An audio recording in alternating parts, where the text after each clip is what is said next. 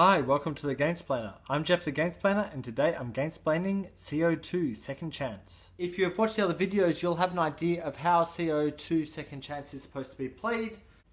Pink and blue. Pink is trying to get to the end of two of these tracks, so it's times two, or have three of these cubes left over, knowledge cubes, left over at the end of the game. Blue is trying to get two infrastructure built in the same region, and it can be any of the six regions, or have 10 money at the end of the game. Without further ado, let's get started. We'll start with Pink because he has the first player marker. The cards that Pink has, he needs to not worry about those ones at the moment because he can't get to them. So he can go for these two, which is North America or set up infrastructure on one of these spots that has the cubes. Other things to bear in mind is if he goes for North America, that will knock that out. But if he goes for North America, he can only go after the trees, the wind, or the recycling. Uh, so it's probably worthwhile going after trees over there. So he might as well start in that location. First up, play a card, which will be that card, the North America card. By playing that card, he gets three money. So if he now builds a proposed structure in North America, that will be great. So he'll do that. Propose a structure in North America. He's going after the woodland one, so he will propose that. And he thinks he'll actually propose it over the center one. So what that does is that gains him one of these guys straight away. He gets a point on the trees for putting that structure in. He can then move one scientist up into that spot, doing some research, and it's probably worth his while to straight away sell one of these CEP. So that pushes that down, and he gets three money for doing that action. He's finished his action, so he'll claim all of his markers back into his spot, and it goes over to blue. The cards blue has, he has three of those proposal project ones and two others we won't worry about for the moment. So he can do one in Africa or Asia with that card, or he can do one in the middle. Africa and Asia are both up here. So by him doing stuff in Africa and Asia, that will knock those ones out. So he will go after the sun, which is in Africa. So he'll do that. Going after that card, so he'll put that card down. Uh, this card also allows him to take one CEP from the market. He'll then do the same thing, so building a, or proposing, should I say, one of the sun items into Africa. Or he, he might actually take that same, same as the other guy did, so he gets a extra scientist. He'll gain points in the sun. He can then purchase CEP from the market for two money. So he'll spend the two money to purchase that CEP. He will then send a scientist up to research in the sun area. Because this is now empty, the cost of CEP pushes up one and it gets replaced with two. It's now over to Pink's turn. Okay, Pink is going to put in another project. The cards that he has for building another project is he'll get uh, an extra guy for taking the knowledge. The next ones, he'll actually get stuff for that type of project. So it might be worthwhile going after that. Uh, even though there's none up here, there are some there and there. So we can actually use that to our advantage. So what he might do is go after that type in South America using that card. So he'll play that card goes after that one in South America, going over that. So he'll get two extra white cubes or knowledge markers, plus he'll get to put one of his markers up on level one, and that gets him an extra scientist. So that's taken now, so he's done that, he's done that. He'll now do this one to move a scientist. So he's actually going to move a scientist from here to here. That gets him one more point in the green, so you get the point as you leave the spot. And he might buy one more CEP from the middle. Uh, three money, he buys one, and that cost doesn't move at all. It only moves up when you refill it. And that is marked there.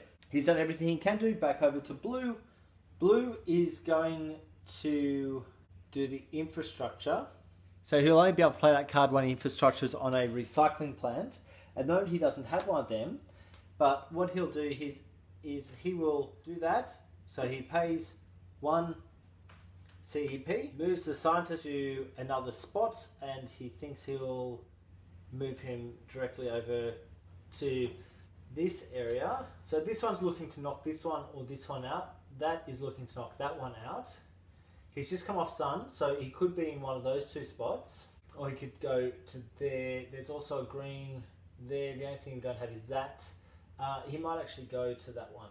So that pushes him forward one on the sun because that's where he came from. He then receives the benefits, which is three more of these. And he places an infrastructure tile into that. So you flip that over to show that that's done, add the infrastructure, and that's now waiting to be completed. What he might also do is move a second scientist to a project, so he'll be able to score in that. To get some money, he's going to spend a CEP, which pushes that down and gets him three money, and that's all he can do. That should have been sitting there, I do apologise.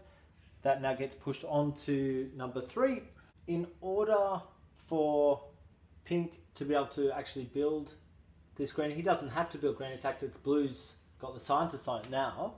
He would need to push forward one more on the green. So he might hold off on that. Instead, doing the blue course is at level one. So what he might do is this turn he'll do that one. So he'll play that card. Now Pink is going to build infrastructure. So to do that, he will pay the one CEP.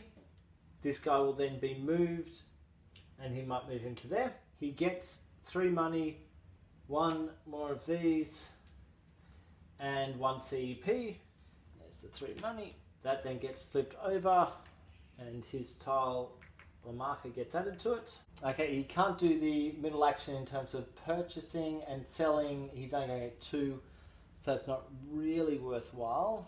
So he might hang on to that at the moment. And Pink has two scientists, so he's gained two extra scientists from there. We, we missed this before. I do apologise. I missed it in the explanation as well. Uh, what he can do is push forward two extra spots on any of the levels that he wishes or add on to levels. So what he might do is throw one there and push one forward there. That means that he could now build that green type of building and blue has gained one extra element. So what he might do is throw one in on here as well. So step back, I do apologize about that. It's currently blue's turn. In order for blue to turn his orange project into something he needs 10 money he's only got 5 money at the moment so he actually needs to get 5 more money so in this turn he really needs to make some money at the beginning of his turn that got refilled. In order for him to make money, he could play this card and build in Asia, which is there. And if he actually plays in this spot, that would gain him another six money on top of it. So he might do that now. So playing the card, he's going to play this card. He's going to then propose a project in Asia. The project he will propose will be a recycling project and he'll do it just there. So he will gain six money for that. He'll gain three money for using the card. Because he's put a project into Asia, he also gets some knowledge or a knowledge on that type of project. He doesn't have any scientists, but what he might do is move a scientist from here to here, opening this one up so that Pink can now do what he was going to do with it. That also puts him onto that track. And because CEP are so cheap, we've just double check he's got enough money. So 5, 6, 7, 8, 9, 10, 11, 12, 13, 14. He's got 14 money, so he will spend one of those money to purchase one of the CEP. That's the end of his turn. We now go to the fourth action that each of them can do in order for pink to turn that into some goods, he needs nine money. So one, two, three, four, five, six, seven, which he has currently. One CEP and one knowledge will get him across the line on that. So he's definitely going to do that. Before he does though, he'll play that card. So we can see that's what he's going to do. He'll go to there to be able to turn this one into a factory. So what happens is that moves to there. He'll pay for it first, so he's paying nine money. He'll pay one knowledge marker and he'll pay one CEP. That then allows him to get six points and the building for that one. So that's complete. Six points goes up the top there. He'll also use that to move a scientist into that space. He will he doesn't have any money so he can't purchase the one for one and he's already used the card. And finish off with he's put a water into South America so he claims that is his and that actually gives him control of that area. That also turns that card over or token over Of course, that's the South America. There's no water there so we don't get to turn that one over. Okay, it's now Blue's turn. Blue is going to have a look at these cards first, just see if there's something that can be helpful. Okay. So there's no cards there of help to him at the moment, but he is going to finish that one off. So push that to there, which pushes this one up to here, and what he's going to do is pay 10 money so that's 10 money, 1 CEP, 2 knowledge, and that will get him 8 points. He adds a building to the top of that, so that's completed. He now puts his token on Africa, puts a cube into the number 1. Both of them were able to do their buildings because they're both at level 1 on that, and these are level 1 buildings. Level 2 buildings come after the second one has been purchased, that's level 2. Um, everything below that is also level 2. He will use that to move a scientist, so he moves a scientist from there up to here, which pushes him forward one on that track. He's going to use one money to purchase a another CEP. And he can't claim any of them yet because he only has the one factory. All of them need at least the two. So that's the end of his turn. We'll pull all those markers back. We now move on to the income phase. Okay, on the income phase, pink is getting one, two, three, and blue would get no points for that anyway, but doesn't get to score that because that's above him. This one's on the same level as pink, so that gets to score for both of them. So it's one, two, three, for blue also. Now I'll just leave that six money off the board because you can take either points or money. We then move the cube forward onto the environmental goals. We should have flipped over an Africa environmental goal and the sun once that one was completed. Nothing is up to halfway on the knowledge track, so all the pink ones stay there, and we haven't completed any of these, so they stay there as well. Which means there are 18. In order for this to work, he'll spend the three money, he'll spend one, brings it to there. In fact, he'll spend all of his money to turn into points.